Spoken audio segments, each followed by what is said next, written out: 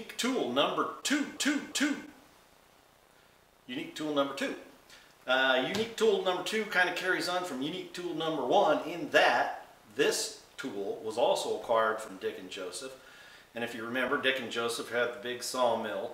Next to the sawmill, they had this rickety old shack, and the roof of the rickety old shack uh, extended out and covered the sawmill. Now, it, as I was hanging out with these two old codgers, I noticed that the roof, or on top of the roof, was all manner of bits of machinery and odds and ends of all sorts and types. And uh, there was something up there on the roof that really caught my eye, and it was a hammerhead. Uh, by the way, that reminds me, if your initials are uh, Tom Lipton, and you're the curator of one of the largest and most fascinating hammer collections that the world has ever known. You may want to use some viewer discretion. Otherwise, you may find that you are under the influence of unreasonable desire to acquire just one more hammer. You've been warned. Okay, so I got the uh, urge to ask Dick, hey Dick, uh, notice there's a hammerhead up there, would you mind if, I had that hammer? And he said, oh, yeah, no problem.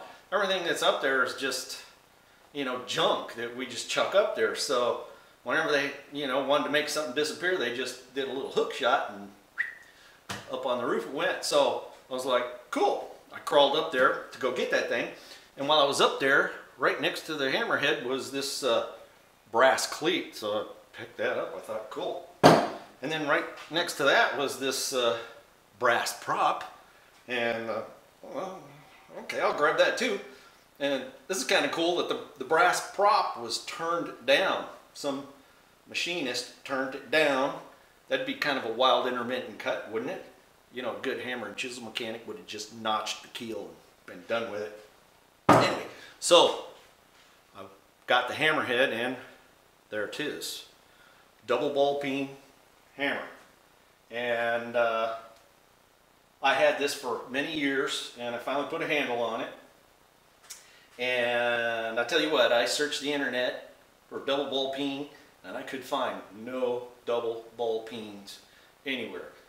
Now, if you look up planishing hammer, you will find some hammers that look similar to this, but they have a, a flatter, you know, heads that are more, you know, like traditional head like that. They're, they're convexed, but not ball shaped like this is.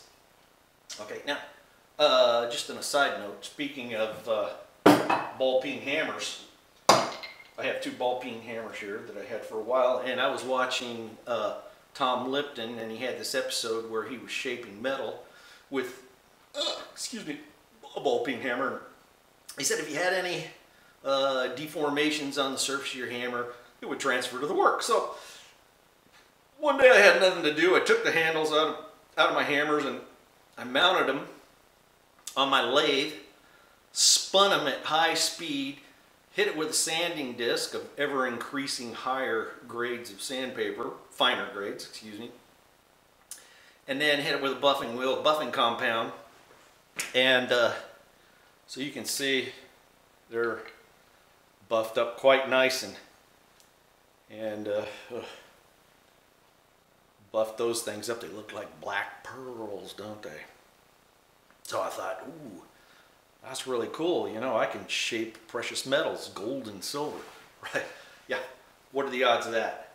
Uh, well, you know, I don't recommend doing this, or at least don't do it to both of your hammers, because what happened is, you know, every time I'd pick up a punch and I'd start to hit it, I'd kind of go, oh, you know, so I'd have to pick up this and, you know, that just didn't feel right. So I had to go find another old ball peen hammer, you know, so that I could, you know, use it properly. So, look, I don't recommend doing this, or at least don't do it to both your hammers, because uh, if you do, you might as well just hook shot them, you know, on top of an old shed somewhere, for all the good they'll do you.